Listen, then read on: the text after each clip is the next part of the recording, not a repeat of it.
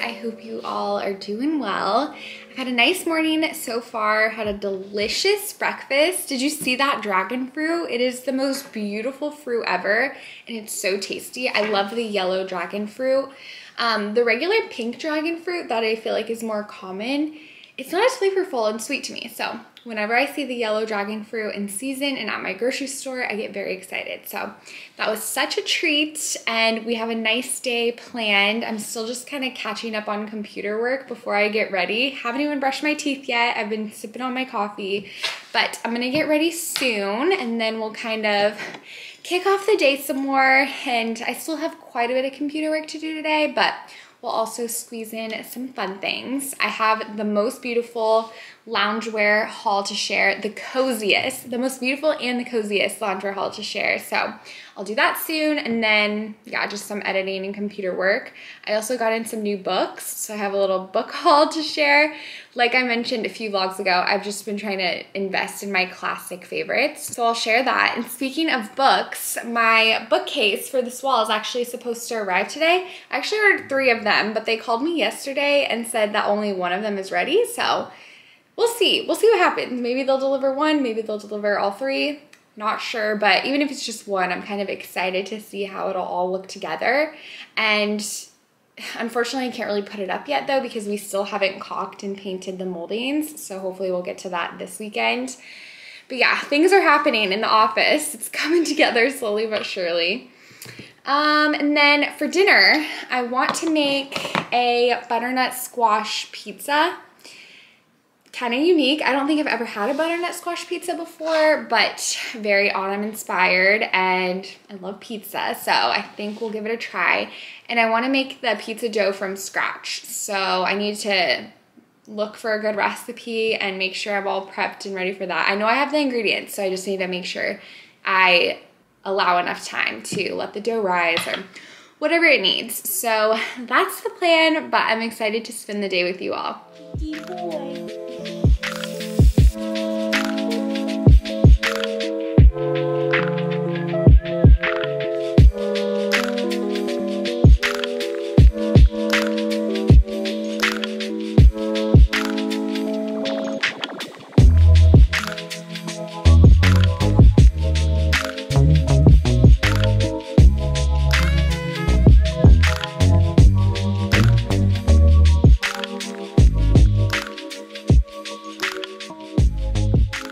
I got all ready, feeling good. I am still in my PJs though because I wanted to share the dreamiest haul with you all and I'm so thankful to be partnering with Skims for this portion of today's video. Every single piece I own from Skims makes me feel so comfortable yet confident at the same time.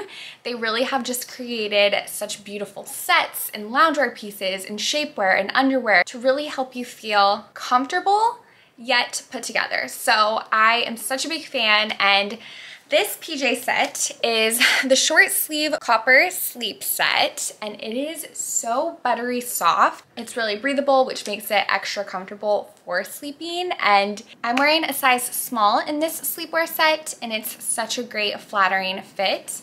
I really love how the tie on the shorts, it's on the inside. So if you want to, you can fold it over and have the little tie show or you can keep it tucked in, which I feel like is great that you kind of have that option. Okay, this sleep Henley dress in cocoa is unreal. It is so gorgeous, so flattering, really hugs in all the right places. And I keep thinking of the quote, oh, you should wear cute PJs because you never know who you'll meet in your dreams. And I feel like this is just the definition of beautiful sleepwear. And, you know, I personally spend so much time working from home and I am more of a homebody so having options like this where I feel so comfortable and at ease but I still feel so put together is just what I'm looking for. So Skims has me covered in every sense of the word. Next up we have this waffle bra paired with the waffle shorts and these are great pieces for more transitional weather. So yes, we're going into the colder months, but you know, still not super chilly, especially where I live in Florida. So this is a great option. And I've been loving to kind of mix and match with my pieces. So as you can see, I paired these with my Cozy Knit zip up and I've been loving pairing this bra just with a bunch of different jackets and some high-waisted jeans. It's just a super cute look and great layering piece. And something I love about the Waffle collection is how the inside of the fabric is extra soft. So the part that really hugs and touches your skin is designed to be the most comfortable. I also ordered this sleep tank and sleep briefs, which are truly the softest fabric. They just feel so luxe, and this is another great option for sleeping and being as comfy as can be. Again, just really flattering and form to your body so, so well. Okay, I'm thriving in this waffle onesie. It is so incredibly comfortable.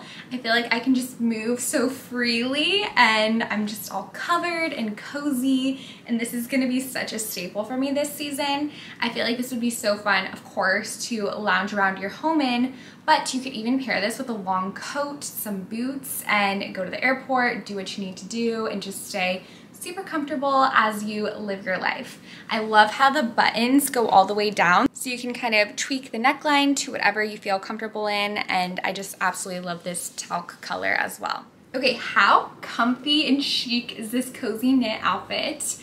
I feel like it's hard to pick favorites because everything is so, so good, but the cozy knit is just unreal. It's like wearing your favorite softest blanket. And I love how even though it is, you know, a thicker and fuzzier material, I still feel like somehow it manages to be flattering. I feel like a lot of times with kind of thicker and fuzzy material, it can kind of do the opposite, but I feel like this is working for me. And I just feel like the fact that I have this in my closet now is not fair to my other clothing because I'm always gonna wanna wear this. It's just so, so comfortable. And I love how all of the Skims bottoms really fit at your natural waist. And I just, again, really feel like that adds to the flattering aspect of all of their pieces. I'm wearing a small medium in my cozy knit and of course it looks so great paired all together. We look so coordinated, so put together, but I also love mixing and matching and like this zip up I've worn with so many different outfits already and you could even dress up this crop, wear it with some leather pants, some boots, and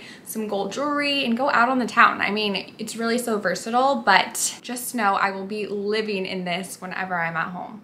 I saved my favorite for last. I'm in the Cozy Knit in this beautiful bone color. I look like a cloud. I feel like a cloud in the best way. This fabric is truly just so cloud-like and of course really cozy and warming, but it's still so super stretchy and breathable. So it's great for all kinds of weather and just staying cozy no matter what season you're in. I love the shorts as well. And again, they're a high-waisted fit on your natural waistline, which we love. And the tank is beautiful. And I can pair these two pieces with so many different styles and occasions. Of course, I love the robe as well. You can wrap yourself up in it fresh out of the shower or cozied up on the couch with your coffee just living your best, coziest life. So I really hope you all enjoyed this Skims haul. And if you'd like to shop any of the pieces, I will have them all linked below and I'll also include the sizes I'm wearing so you guys have that reference. But thanks again to Skims for partnering with me. And I think I might stay in this outfit for the rest of the day or actually I'll change to my joggers because I'm kind of feeling like I like a bit more coverage right now so I'm gonna change to that outfit and then I think it's time to make ourselves some lunch and then some iced coffee. I'm ready for it.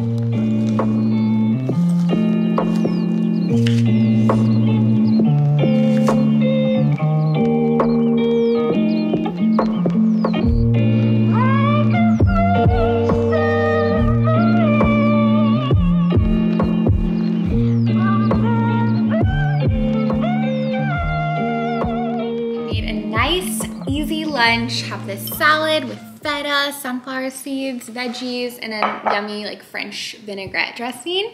And then weird combo, but I'm also gonna have some chips and salsa. I usually, like for the past few years, I haven't really craved salsa because we just buy the one in the jar, but I started buying like the fresh salsa where like the tomatoes are more um, whole. They're not as like mashed up and I love it. And this one's like a nice spicy one, so it's super delicious. Also, good news, our bookcase arrived. I really have no idea if this is just one of the bookcases or if it's all of them. It's really hard to tell and I'm confused because they called me yesterday saying that only one of them was gonna arrive, but there are four packages. So I think we're just gonna have to see. We're gonna have to open up and see. And I don't think we'll get to it today, but hopefully in the next vlog, the shelves will be up and ready to be decorated. And Mr. Palmerton is gonna have this little Kong with a frozen banana and frozen peach for his lunchtime snack. Yes, good boy, good boy.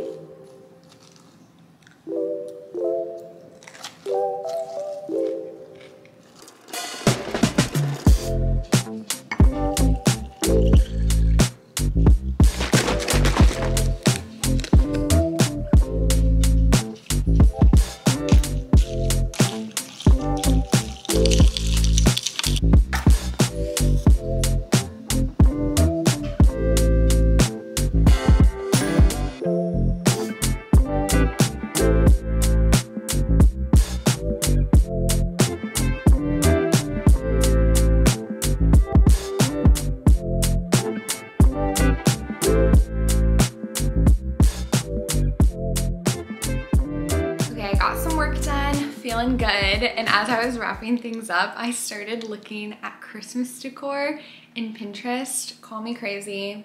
I'll agree with you. I am definitely premature, but I just really am excited. And of course I love this season so much, but especially with, you know, what I do and making videos, I want to start just like planning it out and kind of getting excited about it. So I'm just trying to I, I might not decide beforehand. Maybe I'll just wait until I go shopping, but I'm trying to kind of think about what direction I want to go in. If I want to do like pretty neutral decor. I'm thinking I want to do more color. I'm thinking last the past couple years I've done a good amount of color, but I'm thinking I want to like add in. I really love the Opal House collection from Target in the past and just how like they you know, bring in more of those eclectic colors and it's just super cozy. So yeah, I have to dwell on it a bit more, but I wanted to show you my book haul. We're really getting ready for our bookcases.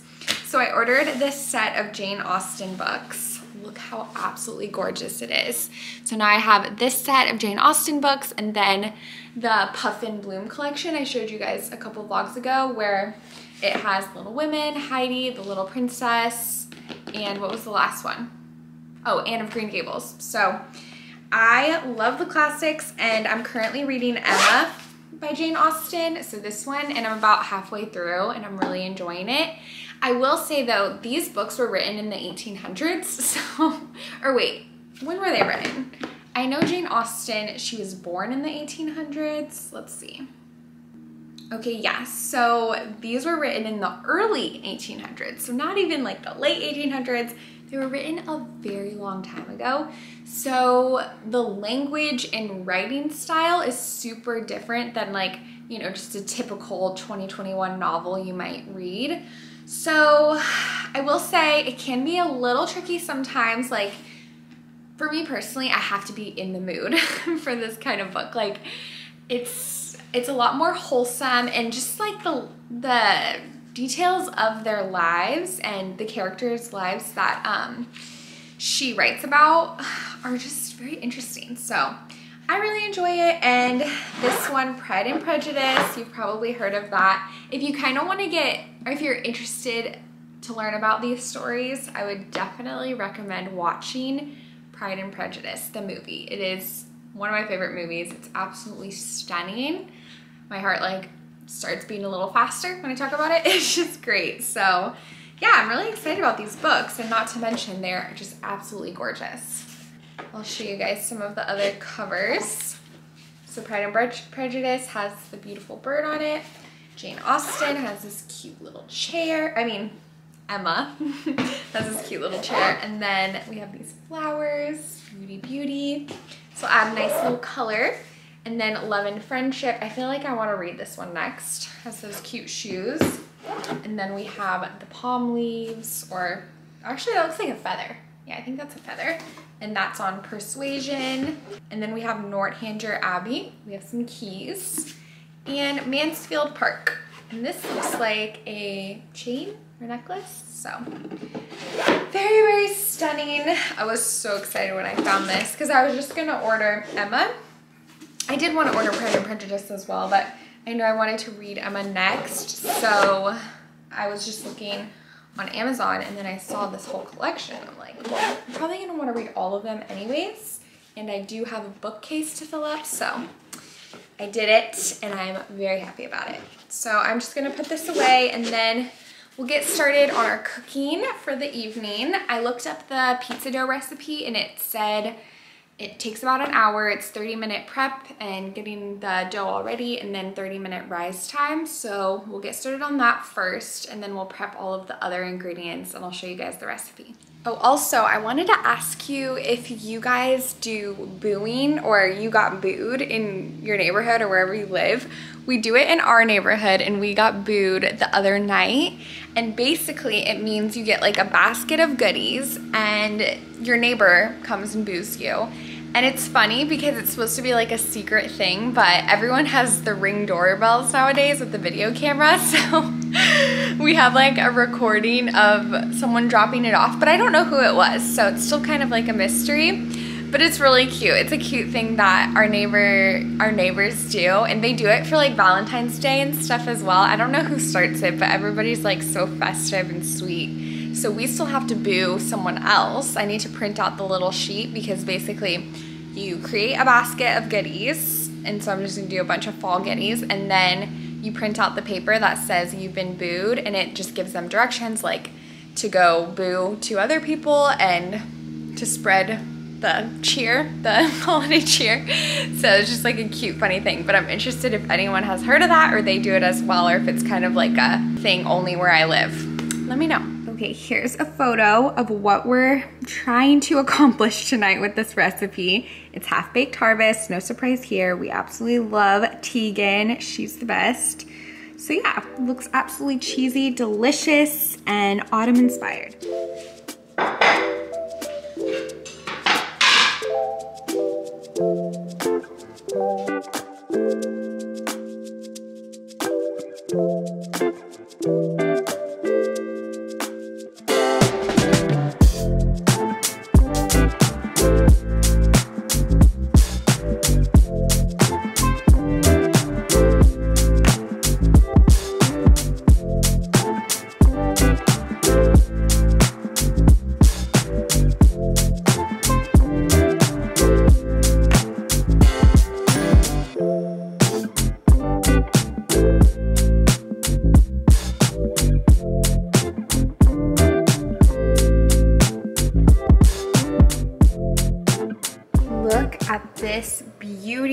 Fresh out of the oven. It looks and smells amazing.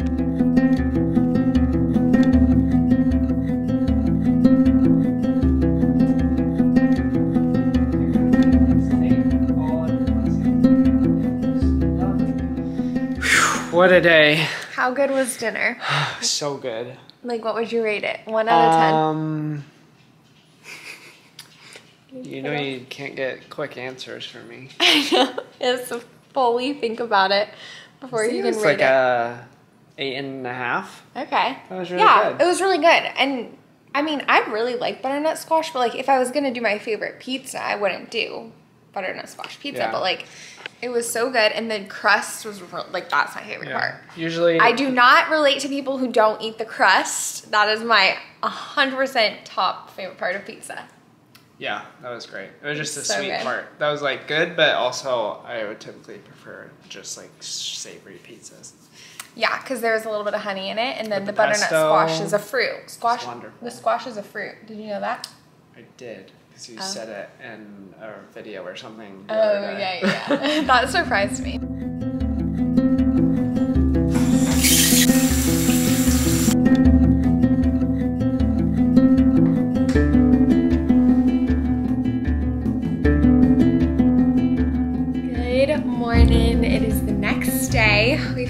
morning so far. It's about 10.30 now. Went on a walk this morning, did some yoga, which I haven't done in so long, but it felt so nice just to stretch and kind of move my body in ways I haven't in a while. And then we've just been like hanging out and we're about to go to a coffee shop. So I haven't even had my morning coffee. I'm ready for it. Um, but we're gonna go to a coffee shop and there's this little pumpkin patch by the coffee shop. So we're gonna do both. And I wanted to take you before I ended the vlog because I know I, I, at least I feel like a lot of you would appreciate a little coffee pumpkin patch date. So that's the plan for this morning and then just gonna be on my computer and edit for the rest of the day. Golden, golden